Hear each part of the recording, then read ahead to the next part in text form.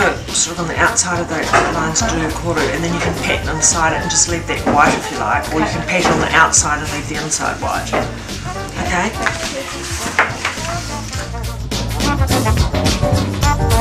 Because you're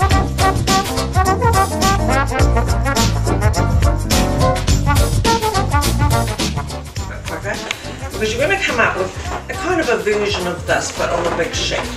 So the patterning can go any way. You can follow the shape of the um, wings if you want to. You definitely don't have to. And you just look at the patterning that, oh no, hand these around. You just look at it and think, oh, I quite like that, I'll do that one.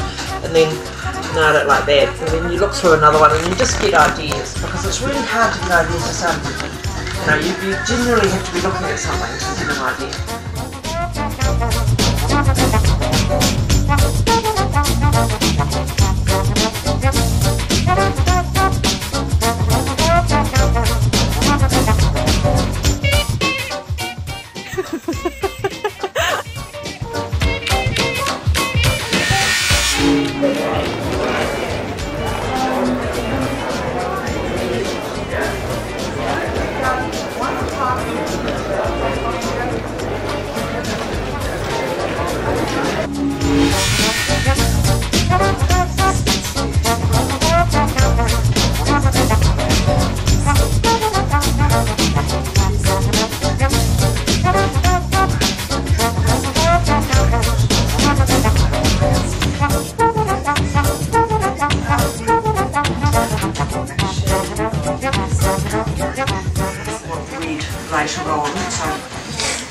About a teaspoon of each, and then each, and then it doesn't matter if you run out because there's plenty more here.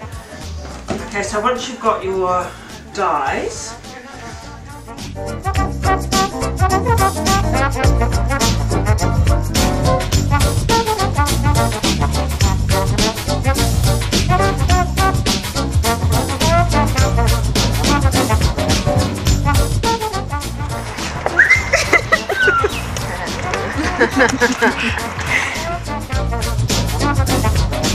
Oh.